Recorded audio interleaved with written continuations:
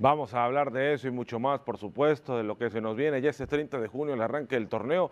Estamos a 15 días, señores, ¿eh? Estamos a 15 días de que inicie el fútbol mexicano, así que vamos a estar muy pendientes de lo que se va a dar. Por supuesto, el equipo de Mazatlán también trabajando en su pretemporada, ya están acá en el puerto, después de lo que fue la semana pasada con selección, que no estuvieron por acá, y ahora vamos a arrancar con selección mexicana de fútbol. Mañana tendrán un partido importantísimo ante la escuadra de las barras y las estrellas de los Estados Unidos, aunque muchos dicen que México sigue siendo mejor. O ya tiene varios años que la selección de los Estados Unidos le tiene tomada la medida al equipo mexicano. ¿eh? Sí, con algunas ausencias, tanto Estados Unidos como México, el día de mañana pues se verán las caras una vez más. Ya se enfrentó Diego Coca a este equipo, ¿no? Hay que dejarlo claro, hubo un empate entre ambos, eh, un partido que la verdad pues ni siquiera recuerdo algo destacado de ese partido, sinceramente. Y bueno, la selección mexicana se está preparando para este partido y bueno, creo que tiene todo listo y la mesa servida también, Diego Coca, para poder dar un golpe de autoridad. Me parece que es la oportunidad clave para Diego Coca para dar un golpe de autoridad ganándole a Estados Unidos. A lo mejor al estilo de Diego Coca, no ocupa golear, no, no ocupa pasarle por encima, simplemente ocupa ganar es lo más importante, ganarle a Estados Unidos. Aquí no importa si le pasaste por encima, si es que tuviste 70 llegadas, pero nada más tuviste un gol. Aquí lo que necesita es ganar Diego Coca sí o sí para meterse a la final del Final Four, de la final de ya de la, de la Liga de Naciones de CONCACAF, porque México tiene que estar en ese lugar, en la final.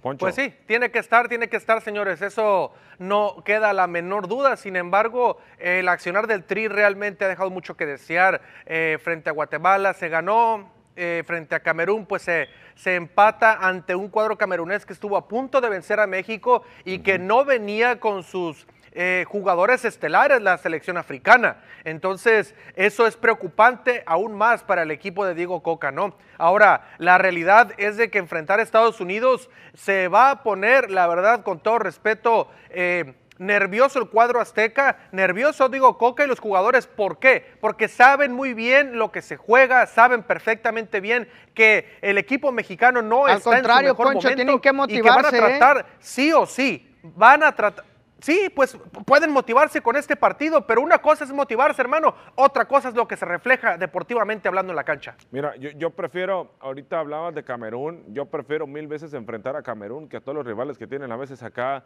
moleros de sí, la totalmente. Totalmente de acuerdo. Se olvida que Camerún es un equipo élite, ¿no? Sacrificamos mucho por el resultado. México apenas y le empata a Camerún como si fuera Martinica, ¿no? O como si me fuera Islas Vírgenes. O sea, Camerún es un contendiente siempre al título de la Copa Africana de Naciones. Camerún ha sido un rival importante en los mundiales, entonces creo que, sacarle provecho a un rival contra Camerún y al mejor, al mejor rival que tienes contra la, en la CONCACAF, que es Estados Unidos, ahí me agradan esos dos juegos, ¿no? Que se están generando, estos dos juegos que se dan, más allá de que es un clásico, México, Estados Unidos, y más para, para la gente de México, ¿no? Donde necesitan ganarle a la selección de Estados Mira, Unidos. yo creo que la calidad de cada uno de los jugadores que, que tiene la selección de México se conoce, ¿no? Desde la portería con Guillermo Ochoa, hay que ser claros, no hay otro, ¿no? Lo de Malagón, el partido contra Camerún, pues fue pues algo detestable, ¿no? Y que mostró el nerviosismo ante un equipo como lo fue eh, Camerún. Eh, creo que todavía no está listo para ser titular, ¿no? Está listo para estar en selección, hay que irlo llevando poco a poco en ese cambio generacional. Guillermo Ochoa tiene que ser sí o sí el titular, pero creo que hay que hablar del conocimiento de la calidad de cada uno de los jugadores, pero también de lo que hizo Diego Coca. Los llamó o les dieron permiso para que llegaran después del juego contra Camerún a los que iban a ser titulares contra Estados Unidos y me parece que ahí se genera un problema porque apenas empezaste a trabajar un partido teniendo dos de preparación, apenas empezaste a trabajar después del segundo partido de preparación con el cuadro que va a ser titular me parece que debiste haber llamado desde antes a los demás jugadores para ir enfilando un estilo, algo que ya tengas marcado para el partido contra Estados Unidos y asegurar el, pase a la final, ¿no?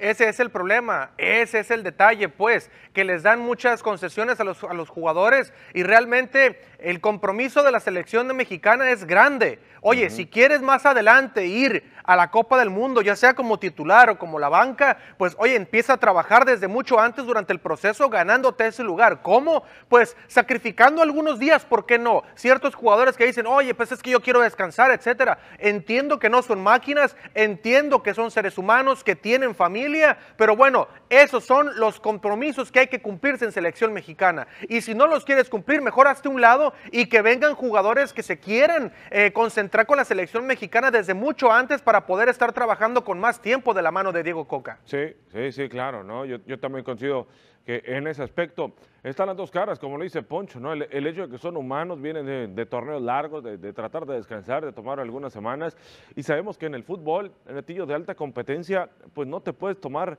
esas libertades a veces, a, ver, a ver. con dos semanas que te tires a, descansar, es que yo creo, eh, pierdes condiciones también. Es que yo creo que ahí es donde se define, ¿no? Lo que es eh, una selección de alto nivel o de calidad, porque acabamos de ver a, Jack Grealish, por ejemplo, acaba de ganar la final de la Champions y se pegó, o sea, hizo una fiesta de 3, 4 días y hoy está ya concentrado con la selección de Inglaterra, o sea, no pidió días para que le pasara, no, no, ya está listo y está listo para jugar con su selección.